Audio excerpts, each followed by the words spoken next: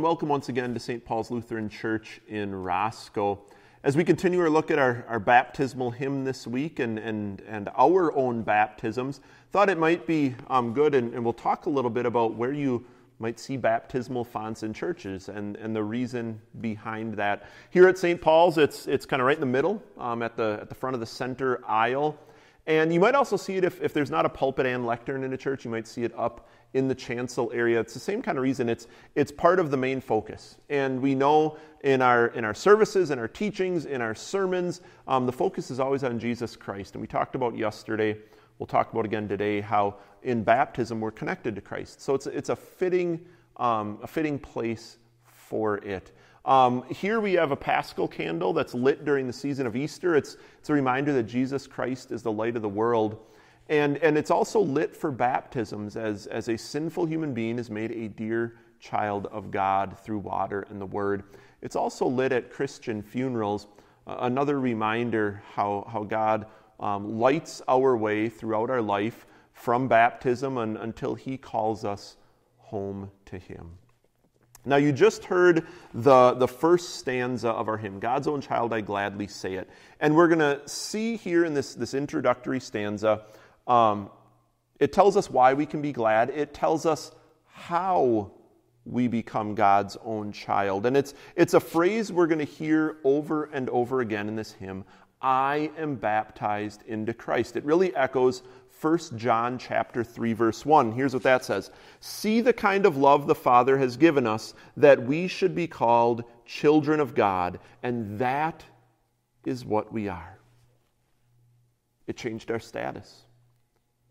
It changed it because, you know, we, we confess here, um, He because I could not pay it. We confess that, that I couldn't pay the debt my sin has incurred.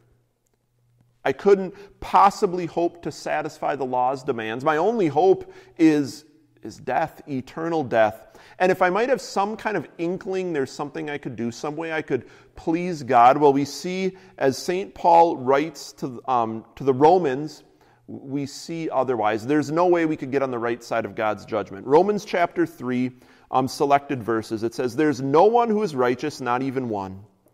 The way of peace they did not know. There's no fear of God in front of their eyes. Now we know that whatever the law says is addressed to those who are under the law, so that every mouth will be silenced and the whole world will be subject to God's judgment. For this reason, no one will be declared righteous in his sight by the works of the law for through the law, we become aware of sin. We have nothing of value to pay to the God who rightly demands perfection, who demands holiness according to his good and holy will. So here comes the one we needed. Here comes the one that's our only hope. I couldn't pay the penalty. I couldn't pay the price. And so again, we look to Paul's letter to the Romans, chapter 5, this time verses 6 and 8. It says, At the appointed time, while we were still helpless, Christ died for the ungodly. But God shows his own love for us in this. While we were still sinners, Christ died for us.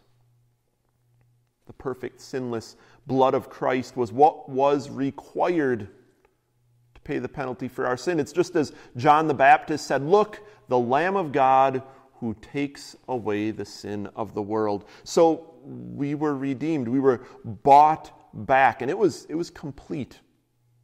The work of redemption, Jesus said, it is finished on the cross. We know the payment is complete. Um, it was made in his death, and we know that payment was good. It was accepted. It's evidenced in his resurrection from the dead.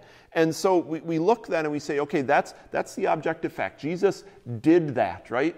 We know he died for the sins of the world, so how does it become ours? Well, we heard it yesterday in the, in the introduction, and I'm going to read it for you again. Romans chapter 6, verse 4 says, We were therefore buried with him by this baptism into his death, so that just as he was raised from the dead through the glory of the Father, we too would also walk in a new life.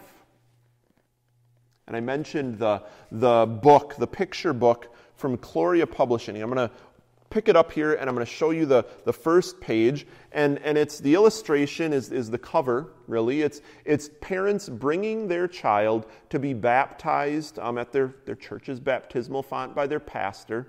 Um, God's own child, I gladly say it, I am baptized into Christ. Then you, you look over to the next page and you see over there the altar area. And, and there's where it says, He, because I could not pay it, gave my full redemption price. And we see um, the altar, right? In the Old Testament, the altar is where they would make the blood sacrifice for the sins of the people, but it wasn't, it wasn't really what they needed. It all pointed ahead to Jesus. Um, so there's that symbolism with the altar, and then there's also the, the crucifix hanging above it, um, where we it's a depiction of, of how Jesus redeemed us by, by shedding his blood, by suffering and dying on the cross. Now, one of the neat things about this book is it's, it's a popular one at our house. And of course, we started out as parents reading it to our children, but, but they really like the book. And so when it's story time, a lot of times one of these gets picked up and, and brought over to us. And you can, you can do some other things with it too. As you read the words of the hymn um, in here, you can look and you can, um, we like to say, okay, where are the crosses? And so we'll look for the, the crosses on each page. And then we'll, we'll take a look at the depictions of this church and, and we'll talk to our kids and say, you know, what's, what's the same um, at our church and what's different from what's, what's illustrated here. And so, some good things kind of to keep them interested, a good way, um, again, to teach the faith and, and talk about some of the things that you, you see in church, and, and again, some of the things that are different as well. Now, the, the final half of the first stanza then compares the riches of baptism to all the things in the world. And you say, What do I need, right? and I'm going to open up and I'm going to show you the, the, the next page again as well. And you look here, and it's, and it's the child sitting among his toys. Um, Do I need earth's treasures many? And it says, I have one worth, worth more than any. And, and among all the toys, all the stuff he's got, he's looking up at his baptism certificate. And it, it's kind of the artist depiction showing, you know, really what's important. And, and we might think of, you know, kids thinking they need stuff. But it's really true of all of us. And, no matter what age, there's always the things um, that, that can distract us, that can cause us to lose sight of our Redeemer. The Apostle Peter reminds us in his letter um, to keep our focus as God's people. Here's what he said You know that you were redeemed from your empty way of life, handed down to you from your forefathers, not with the things not with things that pass away, such as silver or gold, but with the precious blood of Christ, like a lamb without blemish or spot. His blood paid that penalty. His blood gives us that which is most precious to us. And all the things, right, all the things will pass away, but that which brings us salvation free, our hymn says, will last truly to eternity. Christ's work paid our penalty, redeemed us from sin, death, and the devil. And so we're no longer bound by sin, but it says we are alive in Christ. And, and St. Paul, when he wrote to the Galatians, said it this way So you're no longer a slave, but a son. And if you are a son, then you are also an heir of God through Christ. Sounds good, doesn't it? God's own child, I gladly say it. I am baptized into Christ. Thank you for joining us.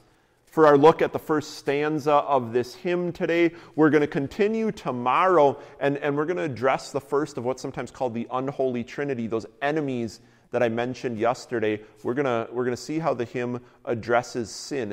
And as God's own child, we can stand tall in the, in the face of the threats that sin throws at us. Thank you for joining us. I'll have the, the, the words to stanza two at the end of the video here, um, and, and we'll see you tomorrow. God's blessings on your day.